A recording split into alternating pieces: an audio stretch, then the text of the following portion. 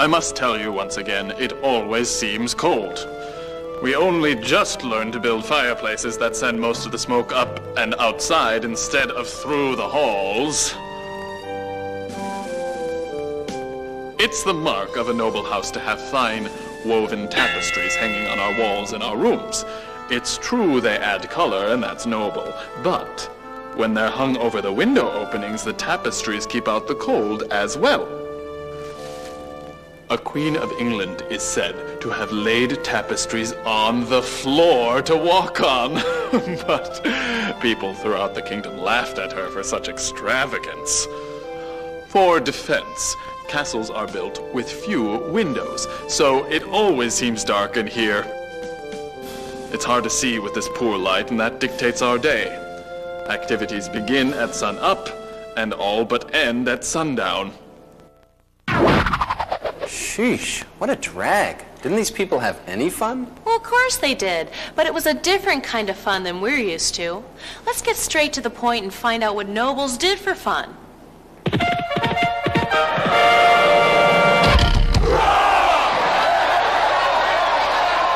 At home, nobles could entertain themselves by playing games.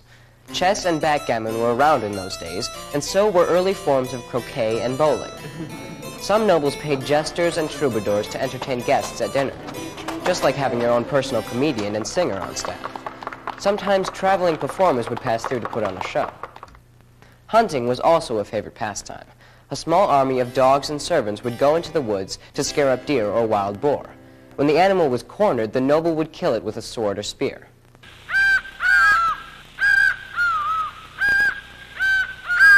Nobles also loved hunting with falcons. The birds were carefully trained and became prized possessions.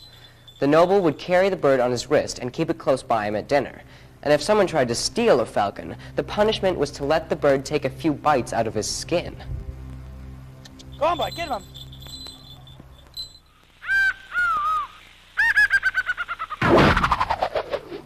Nobles really knew how to eat, too. The big meal of the day was at midday. They called it dinner. Here, read a menu for one medieval feast. First course meat in pepper sauce, boar's head and tusks, swans, a fat capon, A capon is an overgrown chicken, the closest thing they had to turkey. pheasants, heron, sturgeon. A fish. Okay, read on. That's just the first course. You're kidding. Second course venison, that's deer meat, right? Jelly, stuffed pig, peacocks, cranes, great tarts, fried meat. What? There's a third course?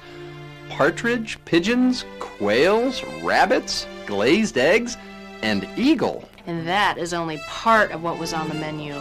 So do these people eat like pigs or what? No, the point at a medieval feast wasn't to pig out. People just chose small samples from every course. The richest noble was the one who could offer the most goodies to choose from. It was a way to show off his power, and there's another important way to show off power in the kitchen. Just imagine you're a modern day cook roasting a chicken and you whip up a little something like this. Mix in some parsley, sage, rosemary, thyme, oh, then some raisins. How about some sugar, salt, pepper, vinegar, oh yes, and a few quarts of wine. All together? Ew. Well, that's how medieval cookbooks do it. All kinds of spices mixed together for cooking all kinds of food. How come? Well, it's hard to keep things fresh, so the spices help make tough, tasteless food go down a little easier. Plus, a marinade of spices help preserve food before refrigerators hit the market hundreds of years later. And using spices was a tasty sign of power for another reason. In the Middle Ages, most spices came from countries far away from Europe, and they were incredibly expensive. One ounce of black pepper could cost as much as a laborer could earn in a week. So, if the guests tasted a lot of spices in the noble's food at dinner, they knew he was really a big shot if he could afford them. Speaking of big shots, could we get our noble guy in here to give us a little lesson on table manners? First of all, it's very important to wash the hands. Everyone at the table shares dishes of food, so hands and fingernails must be clean. And during dinner, we use finger bowls. Our plate is a piece of bread we call a trencher. It soaks up all the juice and gravy and can be used later, perhaps to feed the dogs or the poor. Everyone sits down to the table with their own knife, not a dagger, a knife for eating.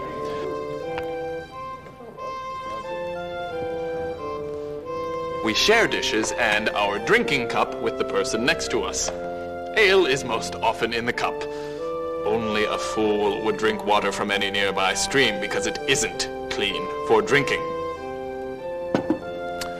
The meat is carved and the food is served by young pages and squires being trained here at the castle.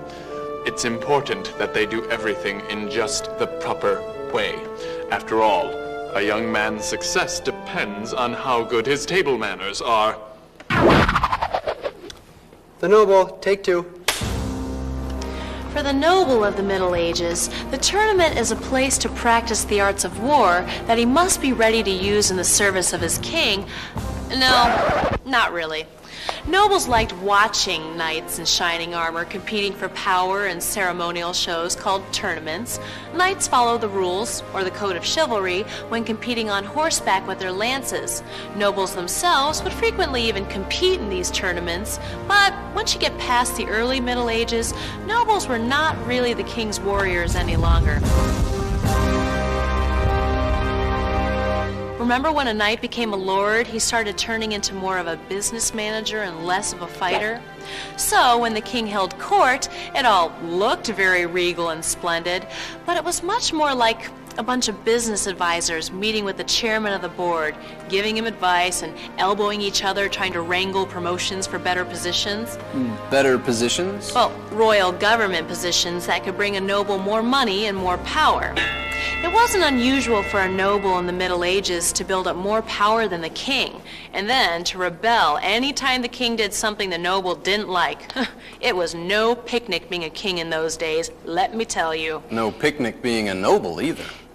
So, what was the noble's wife doing while all this was going on? Let's get the lowdown on the ladies.